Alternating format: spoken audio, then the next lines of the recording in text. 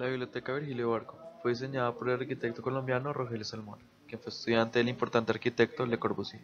Salmona es reconocido por sus particulares formas, el uso del ladrillo y involucrar de alguna manera agua en sus construcciones. Conocido también por edificios como las Torres del Parque o el Archivo Nacional. La Biblioteca Virgilio Barco empezó su construcción en 1999 y culminó en el 2001. Fue un proyecto promovido por la Alcaldía Mayor de Bogotá, bajo la administración de Enrique Peñalosa, para la red de bibliotecas de la capital. Ubicado al lado del Parque Metropolitano Simón Bolívar, en el Parque Virgilio Barco, cuyo nombre lleva la misma biblioteca. Su lote de forma triangular se dispone de 13.000 kilómetros cuadrados, donde además de la biblioteca, hay más de una plaza pública y varios senderos peatonales también diseñados por el arquitecto del proyecto. Uno de estos, el cual da a la entrada de la biblioteca, se encarga de conectar una de las entradas principales del Parque Simón Bolívar con la entrada principal de la biblioteca, de una manera tan continua que casi articula de forma natural, generando una continuidad entre ellas. Además de estar metida en el terreno, en medio de unos taludes verdes, a la vista del transeúnte, parece tener completa continuidad con la naturaleza que lo rodea, y su singular forma, tanto en planta como en corte, permite que se vea inmersa en la naturaleza, a vista de quien circula por ella como de quien la admira desde afuera, ya que ésta está rodeada por un amplio andén y una ciclorruta que hace parte del planeamiento de vías del sistema peatonal iniciado por la alcaldía. Su lote, anteriormente, era el botadero de residuos constructivos del Parque Metropolitano Simón Bolívar. Por lo tanto, en el momento de proyectar el edificio, Salmona se encontró con este inconveniente.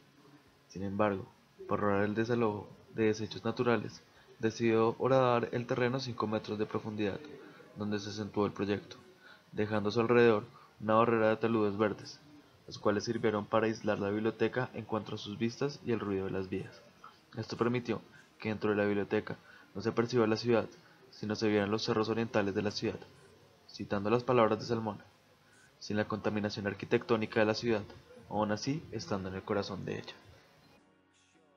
En cuanto al diseño de la misma, las bibliotecas, los muebles, las mesas y todo su material de trabajo interior fue diseñado por el mismo arquitecto de modo que cada parte de la biblioteca creara un conjunto en una sola formalidad en su diseño. Esto es también parte del planeamiento de Salmona, para que no fuera solo las salas de lectura donde se puede leer. Él esperaba que toda la biblioteca estuviese diseñada para que cada quien tuviera libertad de estar en cualquier lado de la misma y sentirse cómodo, desde sus pasillos hasta las cubiertas. Por consiguiente, la, la gran placa circular del segundo piso está colgada por unos sensores importantes de la placa principal de cubierta de modo que no se atraviesa ninguna columna por las salas de lecturas, dejando así el espacio libre para la comodidad de quien circula por ella. La biblioteca está dotada por un gran vestíbulo llamado Sala de Pasos Perdidos, la cual sirve como una gran sala abierta de exposiciones, una sala de lectura para niños, una hemeroteca, el auditorio y una sala de música. Esto en el primer piso. En cuanto a su nivel inferior, a una librería, locales, la cafetería y una sala múltiple que tiene un pequeño escenario que conecta el exterior junto a un teatro al aire libre, además de un parqueadero y los respectivos servicios que necesita esta biblioteca para poder abastecerse.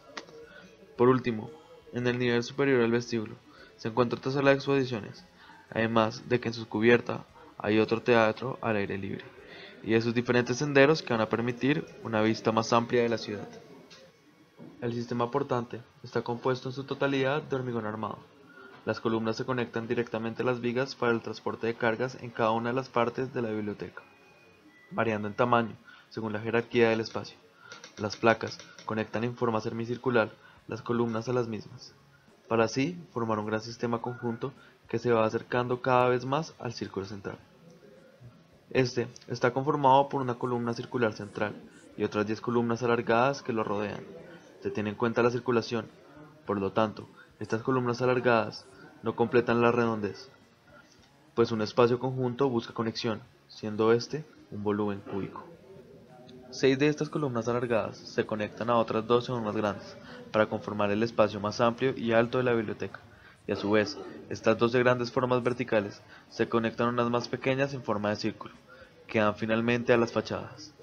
De estas columnas circulares, hay 24 que están conectadas entre sí por medio de una viga, de la cual salen otras vigas para conectarse a la parte estructural más grande de la biblioteca. Siendo uno de los proyectos más importantes a nivel urbano de un arquitecto tan reconocido nacional e internacionalmente como Leo Rogelio Salmona, siempre es bueno estudiarlo, Sin embargo, en este caso no estudiamos el proyecto desde el punto de vista compositivo, sino centrándonos más en la parte estructural, la cual nadie nota en grandes rasgos cuando se estudian los edificios de este gran arquitecto. Esta variable tan importante en una construcción da muestra de la gran capacidad de un creador como lo es nuestro arquitecto de diferenciar y representar un edificio por medio de materialidades y espacialidades que no serían logradas sin estas formas de construcción por las que se inclinó Rogelio para este proyecto. Por otro lado, podemos partir de la incansable tarea en la que se sumerge este arquitecto, al tener en cuenta cada punto y espacio que diseña. Cada situación y cada aspecto del proyecto, antes y después, fue minuciosamente estudiado por Salmona, con el fin de encontrar totalmente resuelto el más mínimo detalle. Esto nos da cuenta de la rigurosidad de su trabajo y de la cual precede su fama. En cuanto a su proyecto en particular, se puede apreciar cómo a partir de diferentes características del lugar que para algunos serían un problema, se puede sacar provecho, como es el procedimiento en el que se generan estos taludes verdes en los que se cierra el proyecto. Además, como se menciona con anterioridad, los aspectos técnicos, como el sistema de soportes por tensores en los que se apoya la placa de segundo piso, con el único fin de liberar el espacio, y cómo solucionar la columna corta presentes en el edificio, de modo de poder generar estos diferentes niveles de terrazas y sus senderos. Son a fin de cuentas referentes válidos de estudio para entender el funcionamiento y la magnitud de estos aspectos técnicos.